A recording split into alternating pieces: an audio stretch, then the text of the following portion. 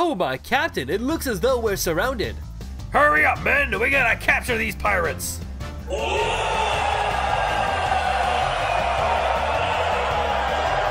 Well, it looks like it's time to use our secret weapon.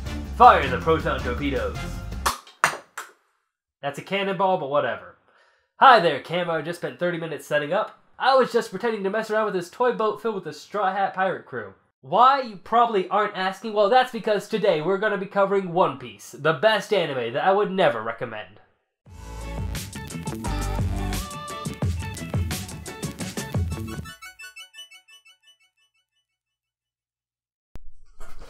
Well, now I'm over here, so let's get this started, shall we? First off, if you haven't heard about One Piece, it's one of the most popular manga and anime series around. It recently became the best-selling manga series of all time, and it's written by Oda Eiichiro, with the manga starting in July 1997 and the anime starting in October 1999. Both of the series are still ongoing.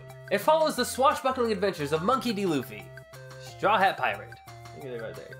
It's because he has a straw hat, and his diverse crew of misfits. Their goal is to travel the Grand Line, the most dangerous ocean in the world, to find the One Piece, the fabled treasure of the pirate king, Gold D. Roger. One Piece takes place in a world far different from our own. Instead of large land masses, everything is ocean, except one strip of land called the Red Line.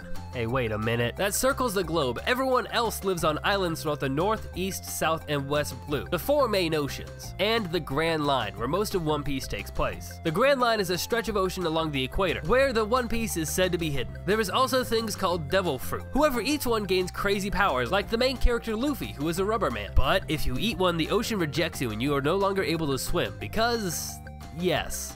So on one hand, awesome powers. On the other, you can't swim, which isn't super appealing when nearly the entire globe is made up of water. And that's the setup for this grand adventure.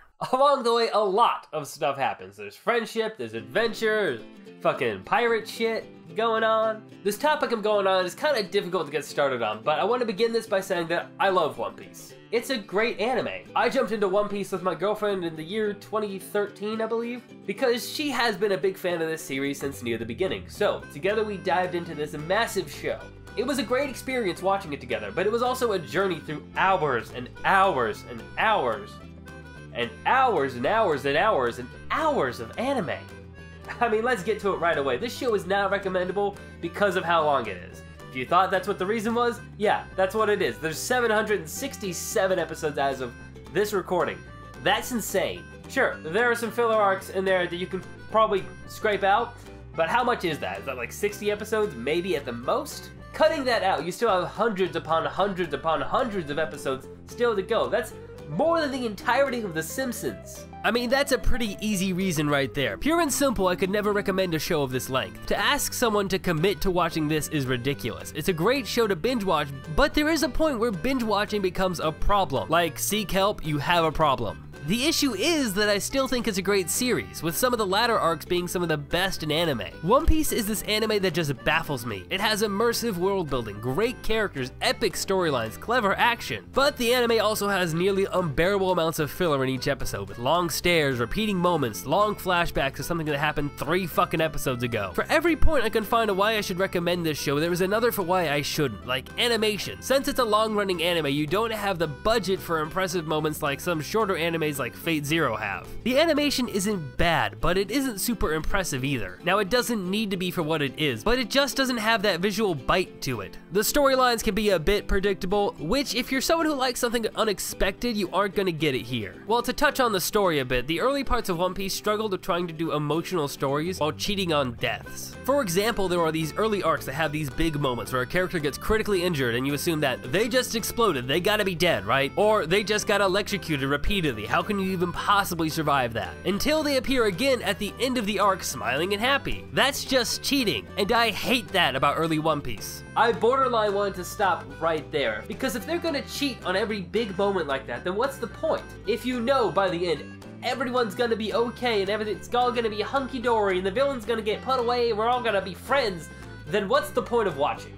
Now they do turn this around and deaths actually happen now, but it's really safe to say the majority of the cast has a pretty thick plot armor on. One Piece also suffers from one of the biggest problems in shonen anime, which is scaling of power. What I mean by that is our main character Luffy starts out as a super strong guy compared to normal people and lower level pirates, but he eventually meets people that are stronger than him, people he can't beat, so he has to train and get stronger. Now, this power chart just keeps going up and up and up and up, and we aren't even close to being at the end of the series, so I know it's just gonna get up and up some more. But there is a point where you can no longer convey how much more powerful the enemy is, or how big the stakes are while still making it interesting. There is a diminishing return there. A great example of this done in two different ways is Dragon Ball GT to Berserk. In Dragon Ball GT, every enemy they face is just stronger than the last guy by insert number here. He's a hundred times stronger than Frieza!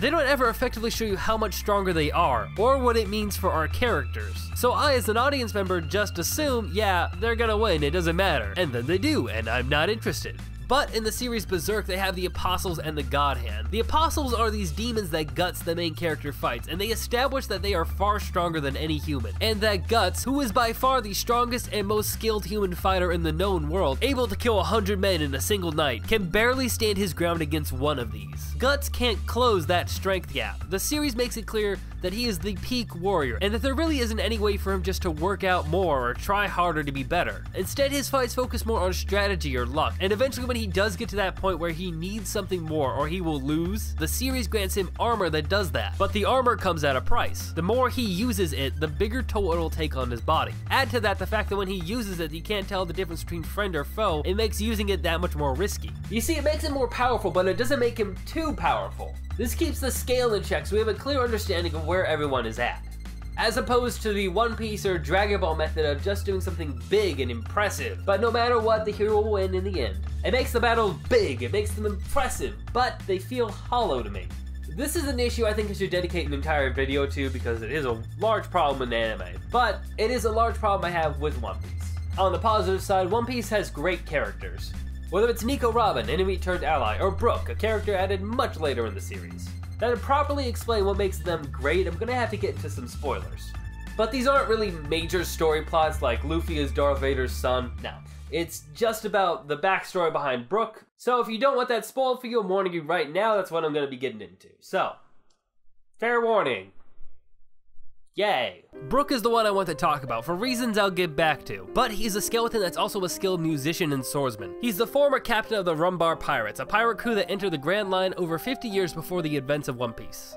Originally, he was just the first mate, but as the journey went on, the captain and a large portion of the crew got sick and had to break off in a vain hope that they could find someone to help them. It is assumed that none of them survive. Then Brook took over as leader until the Rumbar pirates met their end after defeating a pirate crew that fought them with poison blades. So the crew, who was always light-hearted and musical, decided to go out with a song. You see, they had left a whale named Laboon, who had followed them from their homeland to the Grand Line. At the entrance of the Grand Line, they told him to wait. Laboon was only a child, and there was no way he could survive the dangerous oceans of the Grand Line. They told him that they would one day come back to them when they became legendary pirates. Brook had eaten a devil fruit that would allow him to return to his body after death, so they all decided that they would record a song together, and Brook would take it back to Laboon. They all sang together as they slowly died one after another, until only Brook was left. He soon died as well. But eventually his spirit returned to his body, which was now just bones and his afro. He stayed on that ship alone for over 50 years. The rudder was broken, so there was no way for him to sail anywhere. Eventually, the Straw Hat Pirates came along, and Brook found new friends and meaning in his life. It's an emotional story, and Oda, the creator, is fantastic at these stories. They happen throughout One Piece, and they're beautiful. But this gets to why I wanted to speak about Brook specifically over other characters. Now, viewers of the show already knew about Laboon the Whale. He was featured back in episode 62, and Brook wasn't introduced till episode 337.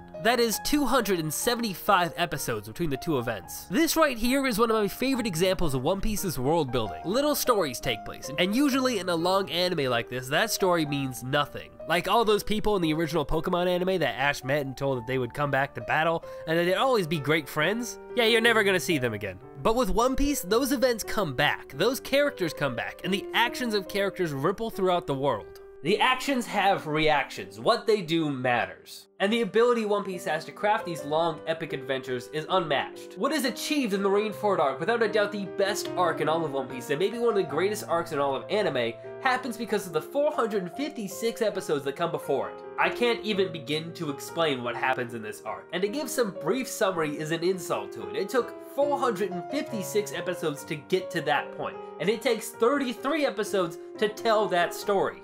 It's a feat that no other series can accomplish because no other series can give you a payoff like this one did. Which brings me all back to the start of this. One Piece is the greatest anime that I can never recommend. I could never recommend that someone sit through 700 episodes of an anime. It's too much. But the payoff One Piece gives is well worth it. I would liken it up to a hike up a steep mountain. The climb is arduous, and there are many moments where you're gonna feel like you should just give up. What are you accomplishing? Why do I want to get to the top? What even is there? No one knows. No one's seen it. But every now and then you'll get a glimpse through the trees. You'll see how far you've come, what you've accomplished so far, and you will realize the view will be even better from the top. And even if it isn't, you can always look back and say you enjoyed the journey. Thank you for watching this episode of Cold Hearted Complaints. I'll see you next time.